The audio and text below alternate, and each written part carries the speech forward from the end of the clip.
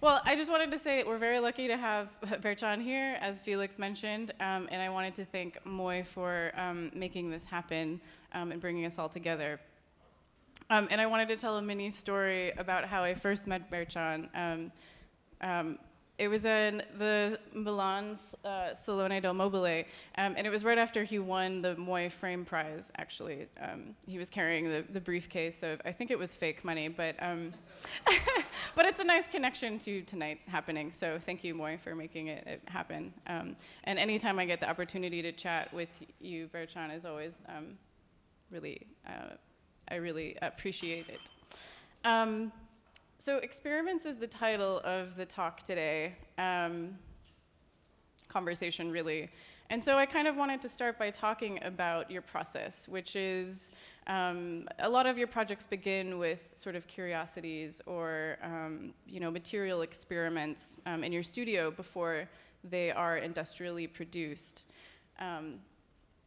So I was thinking, if you look at your website, you know, you can make these very clear connections between the first experimental seeds um, that then become industrially produced. So I kind of just wanted to return to this idea um, because you often use these more primitive sort of handcrafted techniques um, that you experiment with um, in, in, your approach. And I was wondering if you could just sort of start off by talking a little bit about that approach that you have and if you've always had that or sort of how you came to uh, came to that way, that method of working.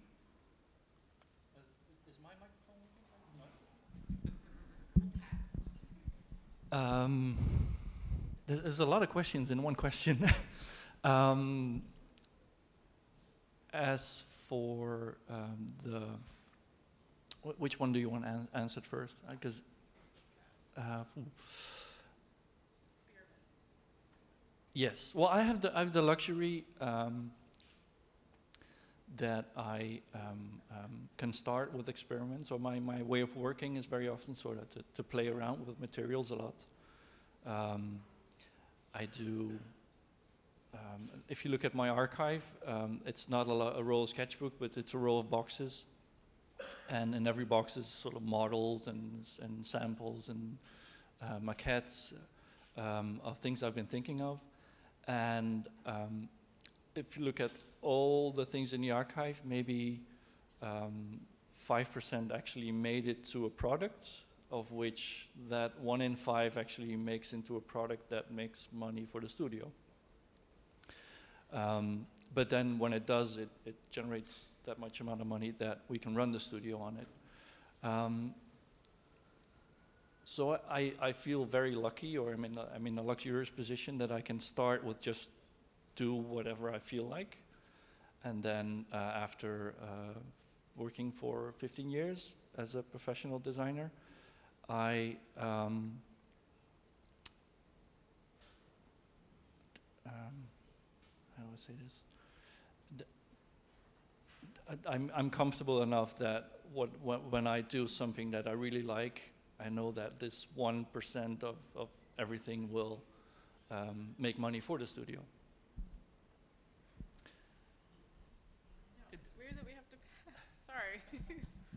Technology fail. Um, yeah, I was hoping that we could also get into a little bit about how um, you sort of improvise with materials as well. Um, and, and the ultimate, at least how I see your work, is it ultimately becomes um, when you industrially produce these things, you're really pushing the limits or the capabilities or the, the possibilities of the manufacturing methods.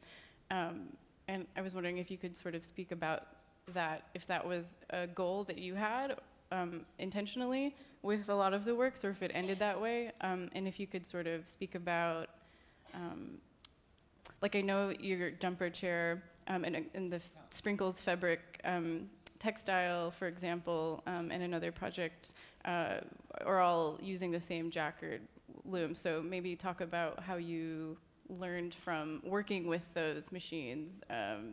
yeah. No, because there's already three. The, uh, the, it's, it's not made on the same machine. There are actually three different machines, and it's not a jacquard. No, no, not even this. Well, they, the Textile Museum has some of it. Um, but I also remember that I want to finish my previous answer. So this is going to be a confusing uh, uh, evening.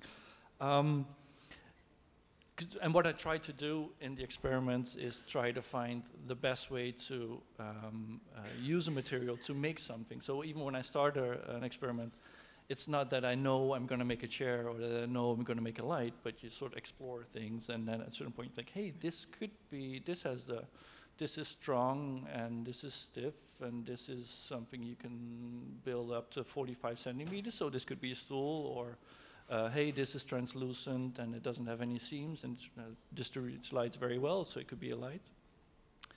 Um, but then the other thing, um, and that's where you, to get back to the jumper chair, um, which is, um, I once did, uh, I was asked to be part of a, a, a group of 10 designers doing research in upholstery, because um, um, uh, the comment was that there's a lot of investigation of young designers um, doing chairs, but they're hardly ever upholstered because it's mostly they want to see the structure of the chair or they want to see this or that, um, uh, of being very technical. And then they asked, can you do research in upholstery? And one of the things I made for that research was um, a chair covered in felt, uh, but completely covered in felt, so it was seamlessly covered because felt is made by rubbing wool together with uh, hot water and soap. And you can actually do it uh, with your hands, so you can. Um, is that chair? Okay, it's it's the green chair when it's. Uh, oh no, it, you, d- only the jumper is okay. Um, if you go on the website, you'll find the green chair, which is seamlessly made. But it also took 40 hours of hand felting. Uh, so it's it's sort of this idea that I make because I want to get it out of my head and I want to show it to people that I, that I like it. Um, but it's still not very uh, industrial pr- producible. Um, but I think maybe five years later, I was in the textile museum and they were showing this machine um, called the knit and wear. And what it can actually do is knit sweaters uh, without seams you just you you, you it's a it's a knit knitting machine, actually very close to what Nike uh, knits the uh, their shoes with. Um, and the knitting machine can also, um, uh, if if you look at the factory where they have the knitting machine, sweaters fall out once every while, complete sweaters. It's not that you have like different parts that you have to sew together, uh, but like everything is seamlessly made. Um, and then I thought, hey, maybe I can finally make that seamless chair. But the problem with um, uh, knitted upholstery is that it very often has too much stretch, uh, and stretch in the material will cause extra wear and tear. So you will not get a right Martindale number. And Martindale is the number you get for textile to, to make it very um, like the, the higher the number, the the more wear and tear resistant the textile is. Um, but then um, the trick we did to make the knitting less flexible was wash the knitted cover very hot so it shrank and became felt. Um, actually, what happens when you wash that expensive sweater, cashmere sweater, in the uh, washing machine at a too high temperature, and then you get a very tiny sweater. Um, and that's how we um, knitted a cover for a chair uh, for a company called Established and Sons. And so that this halfway point where we had the felted chair to the point where we have an industrial produced chair that um, could have been, it wasn't because the, the, the, the number wasn't high enough, but could have been even competitive pricing regarding upholstery. Because um, uh, normally if you upholster a chair, the, the cost of textile plus the cost of sewing plus is um, we could all just short make a shortcut and knit a complete cover all in one for that particular chair. No, I'm so glad you're bringing up textiles because it's something I wanted to um, bring up as well. I think it's a great example of how you're pushing limitations of form um, through this constant experimentation and exploration that you do. Um, in, in many ways, through textiles um, and rope, which is, I, I, think, probably your signature material, um, you know, you're using a continuous piece of string to do the random lights, um, non-random lights. Um, um, and with the jumper chair as well, um, or the other three-dimensional patterns that you've done, three-dimensional fabrics that you've done, you're sort of approaching fabric or textiles as an object itself and, and, pushing the dimensionality there in a way. Um, you know, you also have the pocket light, which is um, one continuous woven piece of material that becomes this three-dimensional light. Um, and so you first became interested in textiles, right, when you were really young, making kites. I was hoping you could talk about that. Well, you gave it away. no, um, um, yeah, my first, the, the, way I learned to sew was because when I was, uh, uh, I think 12 years old, I got into this thing called power kiting, where you have these big kites that will drag you across over the beach. Uh, um, and, and, they can pull uh, small carts, and what they do now, it, it was way before kite surfing, um, but we, very big kites. And at the time, you could uh, buy a very expensive kite or um, buy the materials and make it yourself, which I um, love doing. And uh, but in the beginning, I was pushing my mom to make th the kites, and at a certain point, she she stopped. She said, "Okay, now you now it's time you learn sewing yourself," and that's how I learned to sew. But it's still um, th uh, the way a kite is made think it's still so nice that you can make something that needs to be strong and functional, but in the end, when there's no wind, it's a, it's a floppy thing. Um, uh, and, and I know that a lot of designers, when they design, they do uh, sketching of, of shapes and, and 3D um, models of things. Um, but I'm, I'm still in love with this thing that is just textiles and a few sticks that can become a thing. So uh, that's, that's the first um, um, the time I, I, I'm at Textiles. And um, then later when I went to Design Academy in Eindhoven, um, I had the idea that um, if I wanted to be a designer, I had to study sort of industrial, the industrial design course that they had there called Man and Nutrition. Um, but after three or four years, I um, found out that textiles was my passion, and I went to the styling uh, textile department called Man and Identity. Um, and I'm still very happy I went there. um, people are probably really familiar with your masks, which I think are a few of them are on the slideshow in the back there. Um, but you've also used that same technique of working with rope and this three dimensionality for other projects as well, um, including the gloves, which I was hoping you could speak a little bit more about how that came about um, and how and jumpsuits as well um, and maybe you have others. well, um, the mask that you that you see was actually something I, I really did for myself.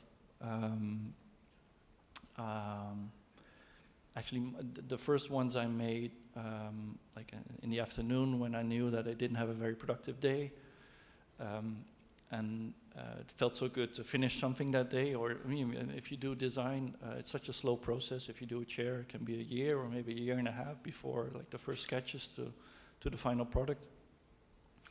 Um, and I, in that way, I'm very impatient, and I like to receive results very quickly. So I, they, they, that's how the mass started to, to be. Um, um, the way they are made is uh, taking rope and the first rope I had just left over from another project.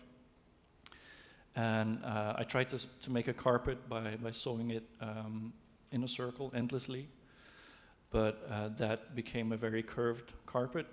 Um, and then my assistant said, oh, you should make a mask. And I made a mask.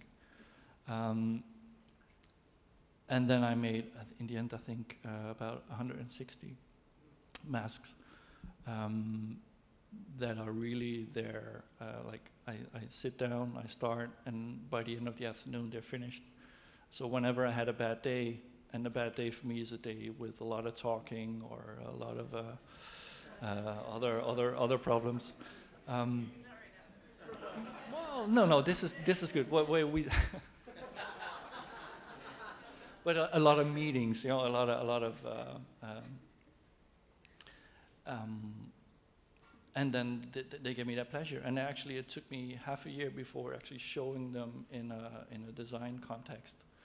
Um, and I'm I'm still surprised by uh, until today that I meet people that know me from the masks because I think, yeah, but I did such good lights for Moooi and a good chair and this and and, I, and actually there's um, uh, commissions coming in for very serious projects like I did um, um, upholstery for a chair at Cassina. Um, and their reason to call was uh, the masks, uh, which I was even surprised, like, oh, yeah, but this is and they said, no, we like the colors that you use, I think it's special, and we want you to make textile. Uh, and, um, and that's, uh, for me, also the, the, the, proof that this luxury position that, okay, the best thing you can give is the thing you like doing most, so that's what you're probably also very good at. Um, that's sort of proof that the thing that I like doing is something that you actually can make money with or get new commissions in.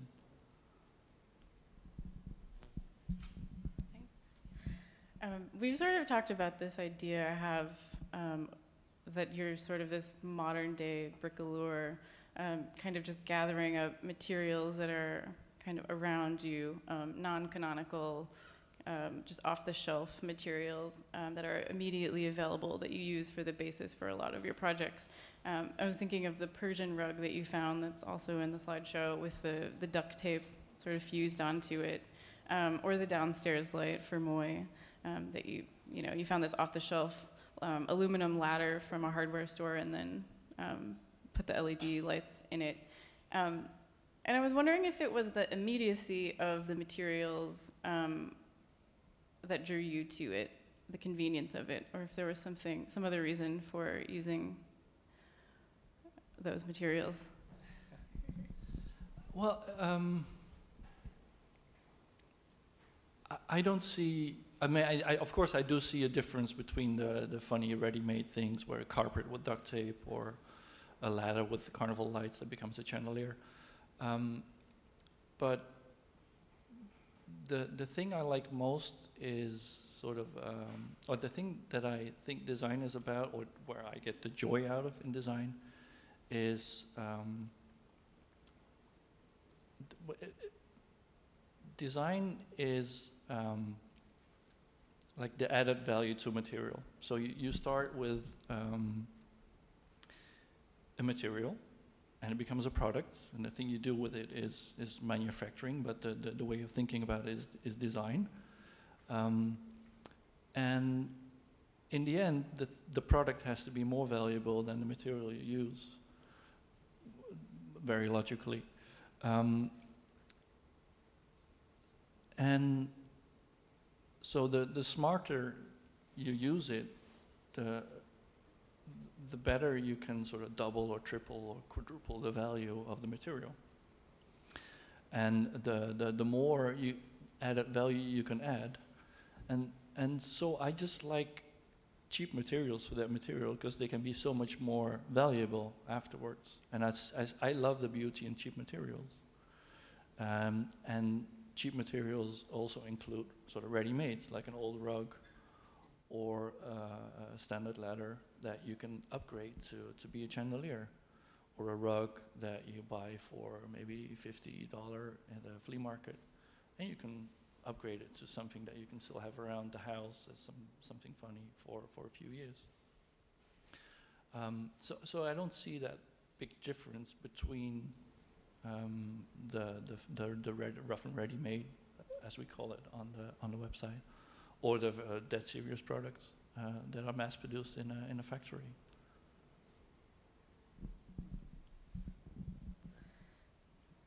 Um, yeah, this idea of the ready-made is something you continue to explore. Um, are you still working on those packs of toilet paper that you're wrapping in. Am I allowed to talk, ask you about that here? Can you talk about that project? It's such an incredible project. Um, are you still experimenting with those? That, was the time that we Skyped that I had just started a project. Um, Um, I'll, I'll just tell the anecdote, uh, which is a better way of explaining the project than trying to explain the concept of this, because there's not really a concept. Um, I did these uh, poofs for Nike, which were uh, inflatable inner tubes covered uh, with laces, uh, sort of cleverly woven into a seamless cover for, for uh, inner tube, which became uh, a poof or a bed or a small pillow. Um, we, they were sort of, I think they were, for me, comparable to what the green felted chair was uh, to the to the jumper chair. Um, it's a very nice idea. It's a good thing, but it has flaws and it needs work to be a good product. I mean, it's perfect to show at an exhibition to explain what Nike could be about or should be about. But um, it needs work to be a product to, to actually hand over to people who can use it safely. Um, and so one of the, but now we get a lot of requests, well, can we order the poofs for uh, this office or can we order them for this shop? Um, and so I started thinking of um, um, what is nice about the Nike project, um, but does not have all the flaws and maybe it's a step down so we can actually offer people something. And um, then I started weaving, weaving um, um, uh, polypropylene cord, which is the same cord I use for the masks, by hand um, around big soft objects. Uh, and one of the objects I, I found was very good was a roll of toilet paper to make a small sample. And, um, and then I found out that, oh, it's such a nice way to make these samples, because I think when I was speak, speaking to you, I just had done a four pack of toilet paper. And then I found a six pack and a 24 pack. So it became this modular system of, and these uh, rolls of toilet paper, they, in a way, they fit because they're, in a, they, when you weave, um, you go from a straight fiber to a, to a, a zigzag fiber. So you actually, um, your weave becomes more compact, which means that the thing you're weaving around has to be able to shrink a little bit, which the toilet roll of toilet paper does perfectly. Um, and then um, there was so much effort going into making that skin that I love the idea to have something very cheap in there. Because if I would have to try to find a piece of foam with the same qualities, um, it would be probably more expensive than the, than the cover. It would take more time than the cover. So I, I thought, no, that this roll of toilet paper is, is perfect to, to, to, get that ready made. But actually, after the 20, the 12 pack, I, I quit making it and I started making more gloves. but still the rope. um, we're doing on time, but um, in curating as in design, um, there's this need for flexible strategies often. Um, and I was wondering, um, because each show is unique, or each design project is unique, um, has its own unique set of constraints. Um, and I was wondering how you approach your exhibitions. You've done a few exhibitions yourself. Some images are in the in the slideshow. Tricks and Flicks, which you did, Design Parade in here in France, um, and, and others. And I think you have one coming up as well um, with the artist oh, yeah. Kroon, right? Yeah, my Dutch is. um, yeah. uh, uh, the, the thing about, well, the thing I like most is um, making stuff. Or uh, you can call it design or you can call it uh, something else. But, um, and actually, I'm not a big fan of doing exhibitions because it, they always mean looking back, and I just like looking forward so much better. You know, I like I like to think of new things, and if you, and because uh, there's also people I think that, that keep asking for a book. Do you want to do a book? Uh, but then I think, oh, I have to go through all the archive and to think of all these other projects. And I know that they will all trigger new ideas, but I'm happy with the few ideas I have now because they already take up so much time to actually get into something uh, being made. But once in a while, we make an exception uh, to an exhibition. And the idea of um, the Tricks and Flicks one that you saw in here in, in the south of France was just before I was taking some sort of a sabbatical, where I didn't stop working, but I stopped saying uh, yes to commissions. So I, I only did self-initiated projects that year. Um, and that was um, the idea was to, to just look at everything uh, from the 14 years before. Um, so I always have to have a, like a, a, very clear reason to do an exhibition. And the, the upcoming one with Anuli Kroon is uh, um, is nice because she's she's a friend, she's a painter, she's an artist, and when we talk about art and design, we, we really click. Um, but it will be in an art gallery, and I think it will be the stuff that I'll be showing will be a lot of textile based, but um, you could call it art. Although I, am still hesitating if you should call it art, but but it's for me it's, that's the experiment of doing that exhibition. Like, okay, what if we do something in an art environment and can it survive um, in that art environment because that's something that I'm very interested in now. Oh, that made me think of a few questions, but um, you're also looking outside the fields of art and design. I know you've sort of cited Katharina Grosse and Tom Sachs in terms of artists who are resonating with your way of working. Um, but you're also recently we're looking into a lot of neuroscience, um, which is a particular interest of mine. Um, and I was curious if um, you were reading this book, I think called We Are Our Brains. I found it. Um, and I was wondering if you made any connections between um, that and design, between those fields. Yes. no, because we also we talked about it, of course. Um, th there is, um, when I read a book like uh, uh, We Are Our Brain or uh, when it is about uh, neuroscience, um, the thing that I'm most interested in is, is the thing like how does creativity work? Um, and um, I myself, I'm not uh, the most uh, organized person, or I'm, I know my thinking is, maybe you hear it in my way of talking, that it's a bit chaotic, or it's all over the place, uh, from there and there, and, and, um, and that's, to try to understand that and try to live with that brain, or I know, I know it's also the, sort of the, the reason why I became a designer, or why I like making things and why I am creative. Um,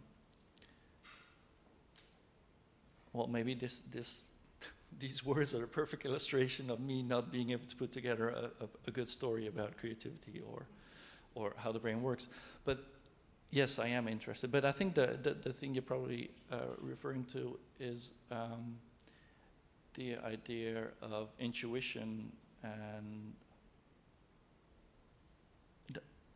Oh, oh, um, the, the, the, the thing um, about um, uh, uh, intuition and, and uh, system one thinking and system two thinking, of the, or the first system and the second system thinking. Um, and to that, I can now um, go to autopilot because there's a story I tell to students a lot, and maybe it's good to tell here, to tell here as well. Um, I used to have a teacher that was dyslexic. And, um, but the nice thing about him was that he could speed read. So you would think that these two things are conflicting. Um, but then if you find out what dyslexia is, uh, um, it comes to the idea that um, one half of the brain or one way of looking at things is chronologically. So if you tell a story, you tell things, um, uh, this happened and then that happened and then so on so on and so. This is something that dyslexic people are not very good at, to, to, to be uh, um, logical. But uh, in that same art school or the design academy, we had a lot of dyslexic people who were very good at visual things. And the way I look at a visual thing is, uh, if you look at an image, you, you, get all the information at once. Um, and try to describe a painting uh, when you're standing in front of it, like everything at once. It's, it's, it's a very fuzzy uh, way of um, uh, explaining, and there's, a, but the but as soon as you see the painting, maybe that feeling comes in. Um, what my teacher uh, was able to do was look at a page in the book as a picture, so get all the information there at once. Now, I, I make a very rough uh, extrapolation to um, ratio and intuition. To me, ratio is, or rational thinking, is um, reading. So if you explain a project to somebody or try to convince somebody that they have to do something, you go like, well, we have this, then we do that, you can do this, so we, we should be doing this. Um, but I know that most of my reasons or most of my, uh, um, when I find that something has to be done or is good for somebody or it's something I should be doing, is very intuitive. And it's more like, I feel I should be doing this. And what I'm actually doing is thinking at a lot of things at the same time. Um, like, oh, wait, this, but this is perfect because this is something that they would like because I've seen what type of dress she's wearing oh, but this is also very good because they actually are having a factory next door that has the same, um, uh, that can do this. Oh, but this would also mean it's very good because uh, this would make the product very cheap or cheaper than, uh, than the competition. Uh, but this is also very good because um, it's something that I love doing or that I would want to have for my own home. So I finally have this thing that I couldn't have produced anywhere. So there's a lot of reasons and all of those reasons together is, um, is intuition. But it is not the opposite of rational thinking. It's just rational thinking uh, very chaotically all together at once. And, and that's the same way, like, okay, if reading and speed reading, um, then reading is rational thinking, then um, speed reading becomes, in the, if you do it in your mind, becomes intuition and you can you can um, train uh, intuition by doing a lot of um, uh, uh, rational reasoning, uh, but also listening to to your feeling or try to find out like, why do I really want to do this. Um, and that's sort of also where the neuroscience part comes in, or where the, where the brain part comes in.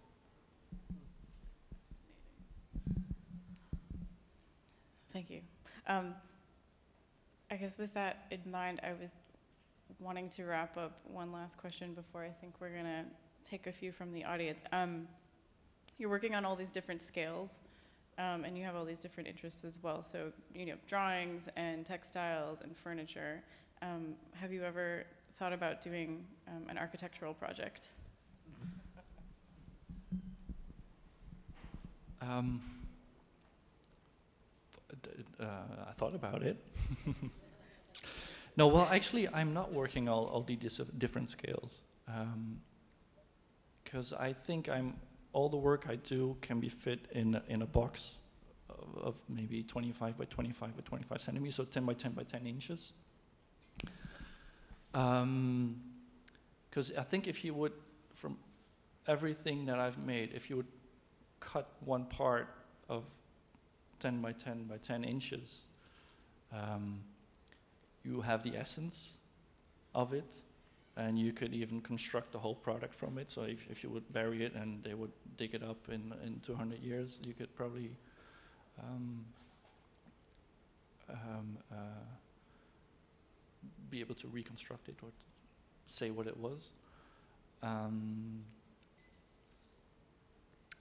but um, that's, I mean, this is again a thing that I sometimes tell to students. Um, like you can, you, should find your own scale.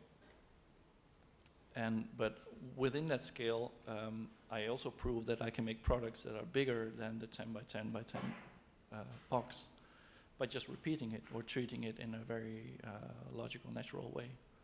Um, so if you would ask me to do uh, architecture, I think I would love to um, think of a brick that somebody could build a building with. And I think that would be my, my approach to how to do architecture. Um, and I think that's also something where textile comes in, or th- and that's something I really love about textiles, that you start with such a small fiber and you make it into something bigger and into, into a surface or into a, um, a piece of textile or maybe even a chair. Um, that that I, I'm I'm the person that works from small to something bigger.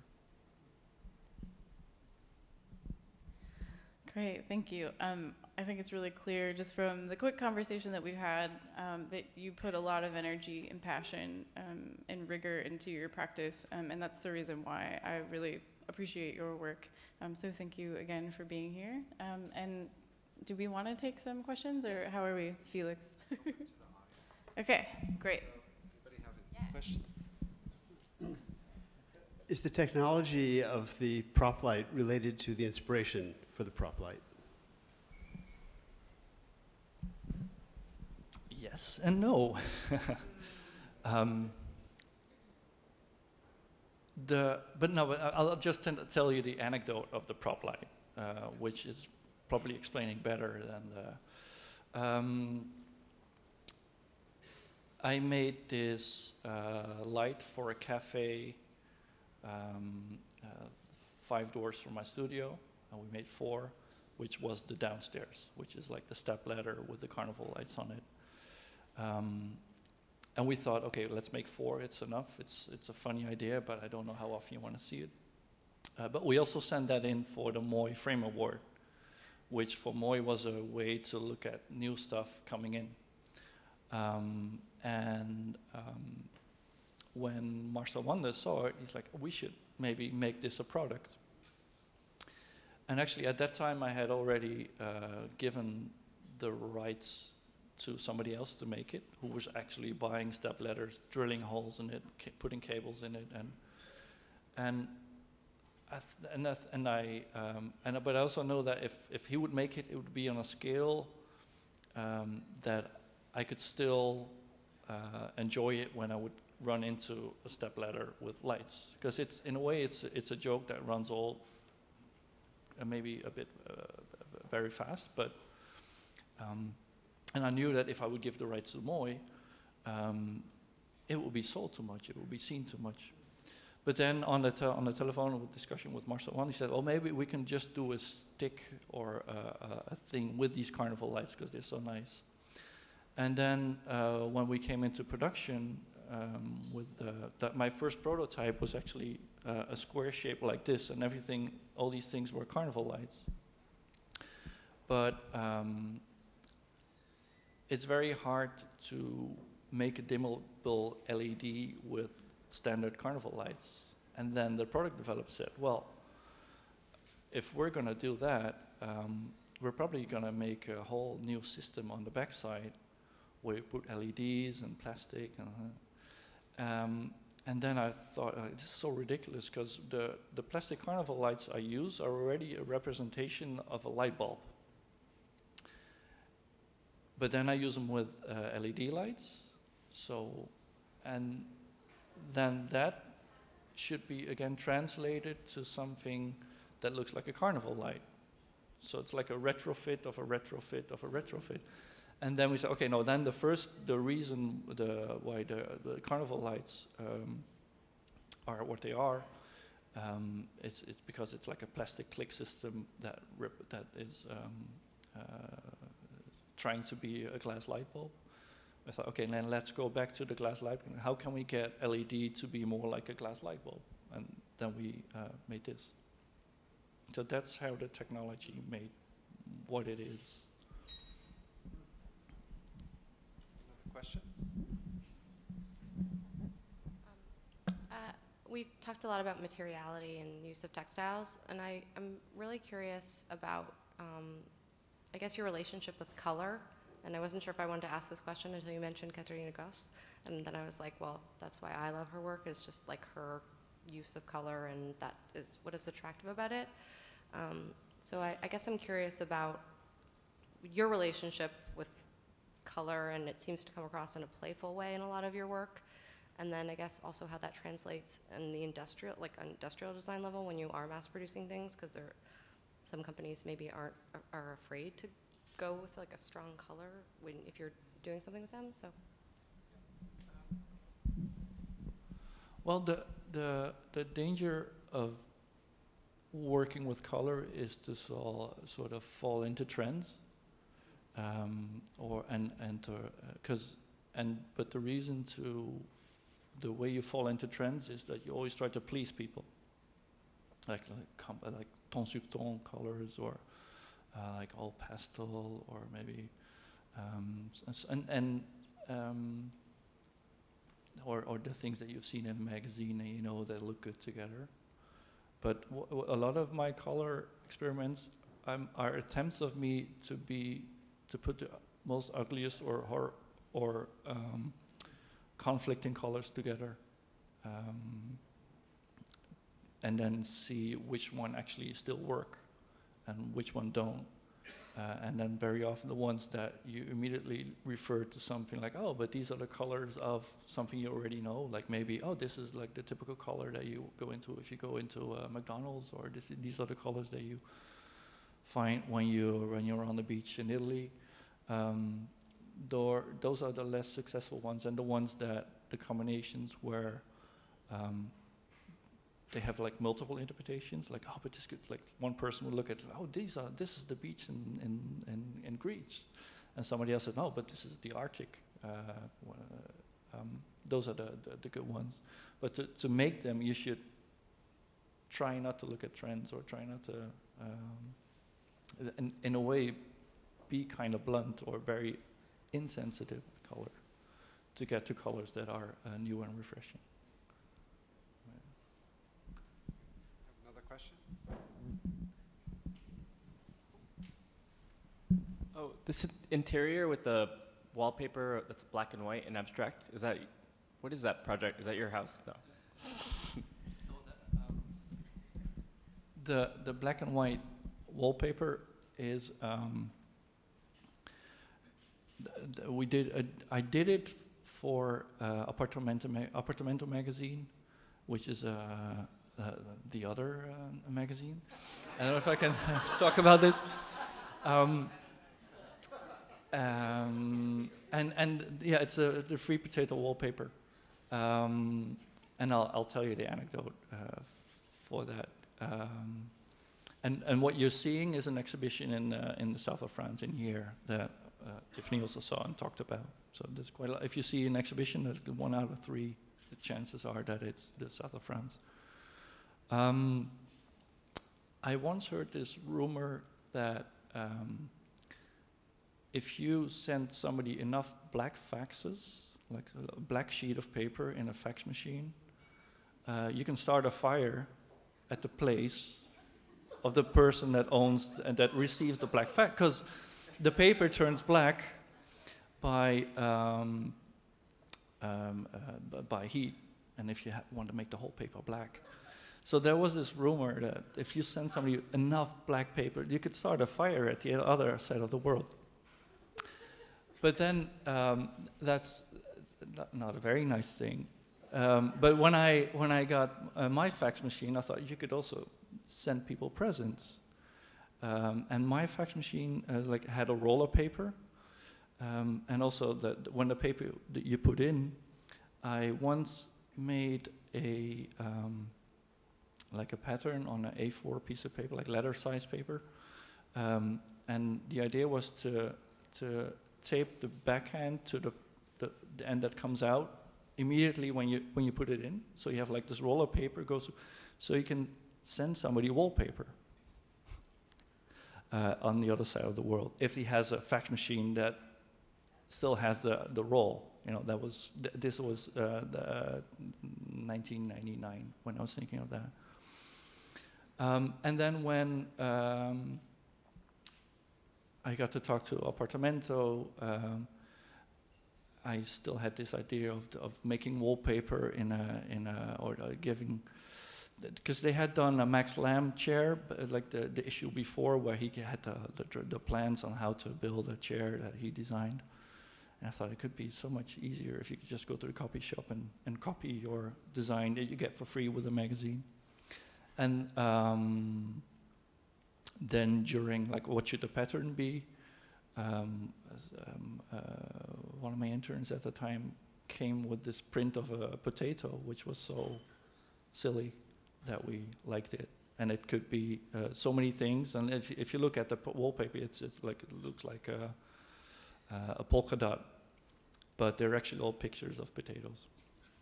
And so the magazine actually had four pages that you can enlarge until uh, I think 141% on the copier. Go to the copy shop, copy it on gray or uh, pink paper, and you could have the, the wallpaper in your house. But actually, I, I never, and, and I think the article actually says, well, if you do it, send us a picture, but we never got a picture of him.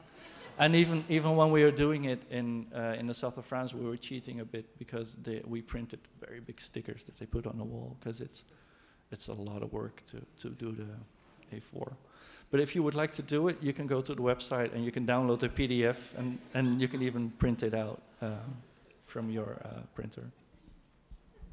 Great, thank you. Well, on the subject of uh, potatoes, I would like to thank you both for this conversation, uh, fascinating conversation, and invite everyone to encourage everyone to uh, indulge in the uh, the buffet courtesy of Dimes and um, the drinks courtesy of Saint Germain. Everything courtesy of Moooi. And uh, yes, thank you very much for coming.